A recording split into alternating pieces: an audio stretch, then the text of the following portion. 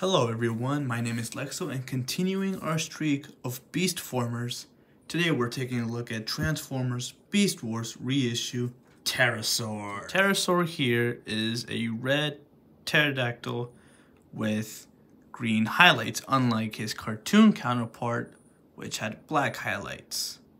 So, yay! Inconsistency. Inconsistencies aside, let's talk about his articulation nothing at the body. It is completely stiff. His head can look up that far and look down that far, and you can open his mouth that far. You can and you can make him look like as if he's screaming at people at something. And his feet move because of transformation. Not much. If you move it too much, you'll you'll disconnect, you'll untab it. Size-wise, he's pretty small. From nose to tail, he's around 5 inches and he has a wingspan of five and a half. For comparison, I have some other Beast Formers, Beast Wars figures at least. You can see it varies. Since he's a basic, he he matches well with other basic figures, but not so much with the deluxes, like like Cybertruck here. One last look, there's the top, there's the bottom, there's the Terra butt and the Terra face. Ah! That out of the way, let's transform him and check out his robot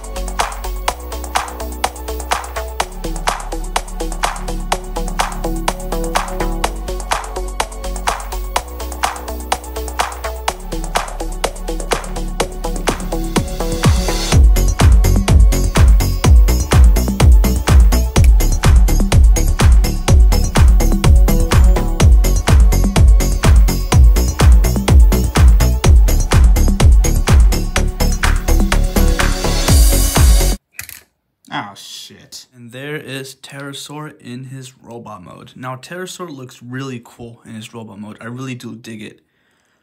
A lot more black gets revealed and some blue highlights in the shins and in the hands. You'll see in a little bit. And in the head. Other than that, it's still the same, same red, same dinosaur. He still has a dinosaur on his back. But I really do dig it.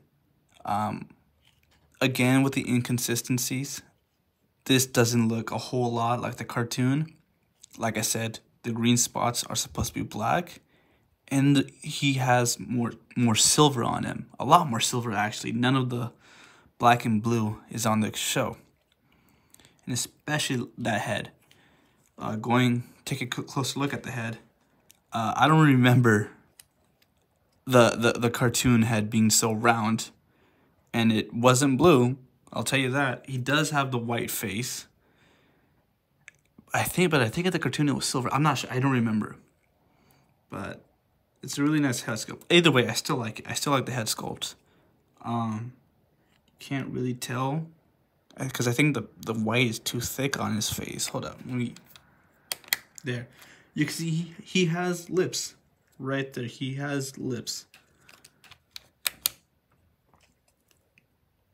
Yeah, uh, he stands at around four inches tall, but from the tip of the ter pterosaur, pterodon head, it's he's around five inches tall. And as you can see, he has trouble standing. All of his joints are ball joints, so ball jointed head, can do a full 360, but I got fat fingers. It's very hard to do it could look in that far in his own chest and up almost nothing.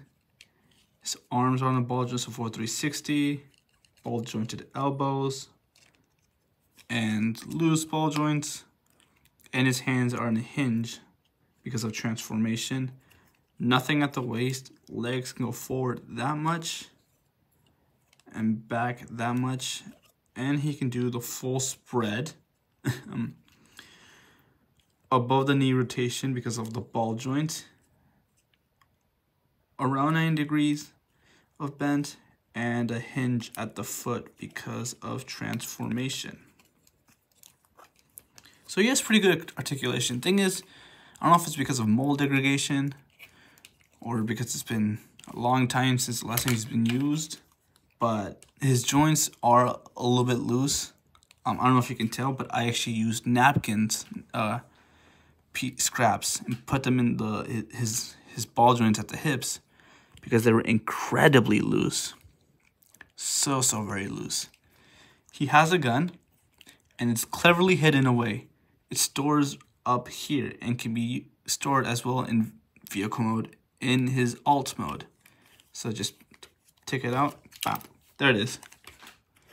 And then just flip it up and there is this tiny, tiny little pistol. You know, it's not the size that matters, it's how you use it.